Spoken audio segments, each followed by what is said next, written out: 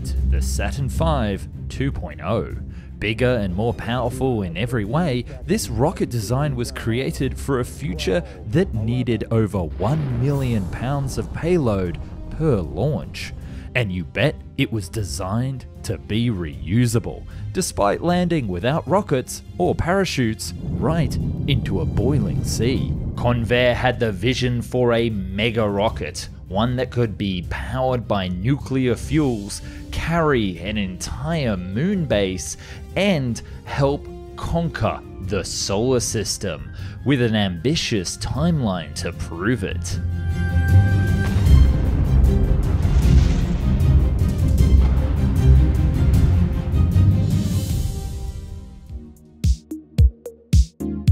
In the early 1960s, as NASA was planning to go to the moon with a Saturn V, engineers got to work planning out the possibility of a permanent human presence on the lunar surface a 100 man moon base that would not only require 33,000 pounds of materials per Earth year to sustain, but 3.5 million pounds to even construct in the first place, 70 times more than that that is carried by the Space Shuttle. Thus, a new chemically fueled mega rocket would be needed to get this material into orbit, a Saturn 2.0 if you would, that would be able to launch a vast mass of payload into space even with nuclear upper stages. The pitch was thrown out by the NASA Future Projects Office in 1962 and Convair answered the call. Unlike the other projects under development, such as the advanced versions of the Saturn V or the Nova booster, which we'll both cover in a future video, Convair saw the millions of pounds of payload capacity as a challenge. And just like the manly men that they are trying to bring all the shopping in at once, they designed a rocket to carry everything. This is the Convair Nexus. This would be a single stage to orbit vehicle that could carry 1 million pounds of payload and was designed to be reusable. Thanks to thinking big, the rocket would have incredible economic advantages. It would be roughly the same cost to design as the smaller rocket like the Saturn, although without the complexity that comes with multiple stages. Plus, the bigger rocket could carry more pounds of payload, negating the need for multiple launches and multiple rockets. Less launches, less launch facilities, and crew required, and thus a cheaper cost. And these economical reasons made Convair very excited indeed to move ahead with the project. So, what exactly was the Nexus rocket like? The Nexus was a pretty squat rocket with a tapered rocket stage up to the payload. This wide base gave it plenty of space for large internal fuel tanks of liquid hydrogen. This tank itself was in the shape of a cone rather than the sphere or a cylinder, which allowed for separate oxygen tanks, 24 of them, to be ringed around at the base. On the sides of the rocket, there were also four flaps that was helped to control the rocket during re-entry, but we'll get to that insane process in a moment. The fuel tank supported a number of individual high pressure hydrogen oxygen rocket engines that could be developed from a number of programs being done at the time, allowing the rocket much needed flexibility. Just in case there was to be issues with the performance of the rocket, there was a capacity to include up to 12 solid rocket motors attached to the boosters from the Titan 3C to give it an additional 1000 feet per second during launches. And it wasn't ruled out to use nuclear engines for these boosters either. Speaking of nuclear, there was a plan to change the upper stage into a nuclear pulse engine a la Orion rocket. That's right, nuclear bomb detonations. To still make the Nexus reusable with this insane payload, it would detach and immediately fire retro rockets to get away as quickly as possible. But you bet we'll do a deep dive into the Orion program in another video because it's simply so insane, so be sure to subscribe for that one. There are also two main Nexus designs under consideration one that could carry 1 million pounds, and the other one double the size for double the mission. The economies of scale made sense, but the bigger one would have required those boosters almost definitely, despite a lower effective specific impulse required to get going. Now that that's all out of the way, we can get to the fun stuff, like launching this impossibly huge rocket.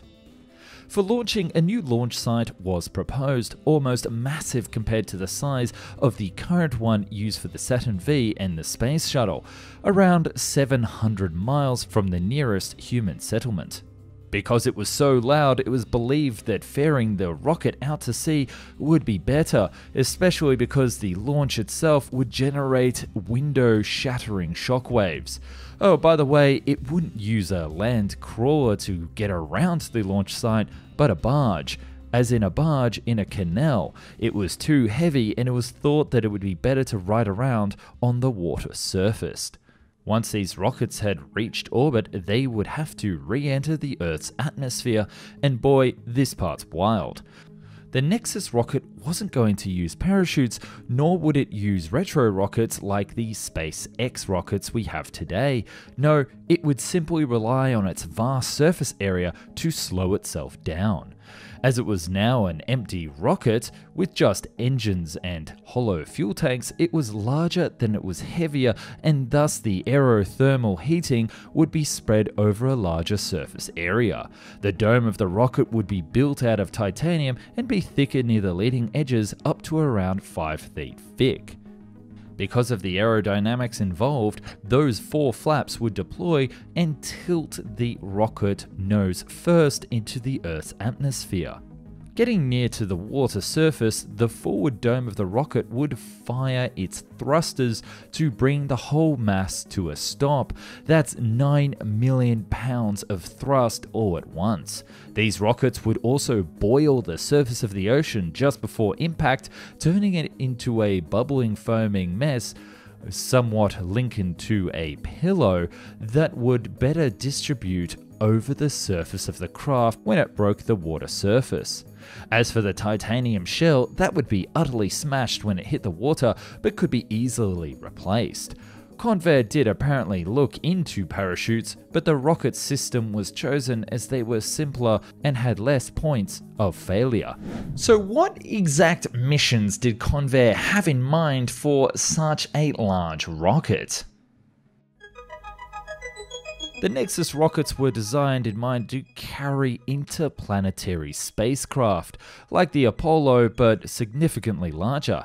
These flights around the solar system would require vast sums of liquid hydrogen, something that would be incredibly expensive to transport in small batches, hence why the size of the Nexus kicked ass. Convair estimated that a single Nexus would allow for deep space missions without the difficulty of assembling a new ship in orbit and refueling it.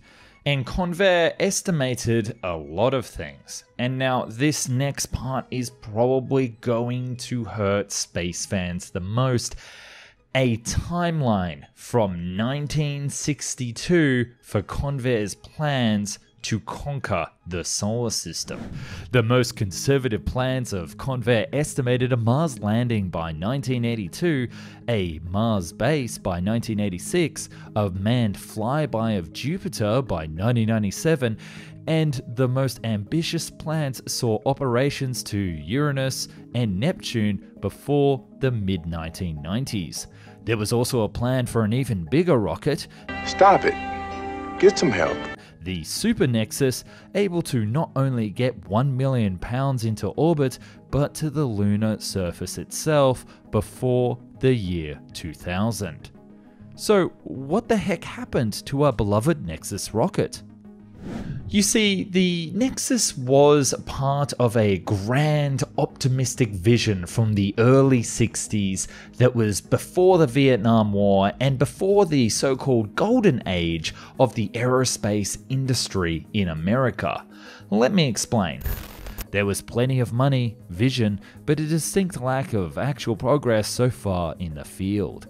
At the time, the Atlas Centaur was the biggest rocket built and it could only get 8,000 pounds to orbit, a far cry from the Nexus goal of 1 million. And remember that titanium shell? Well, it required two acres of titanium and stainless steel to build, and not only would that be incredibly hard to source, but it would take months, if not years, to produce each shell.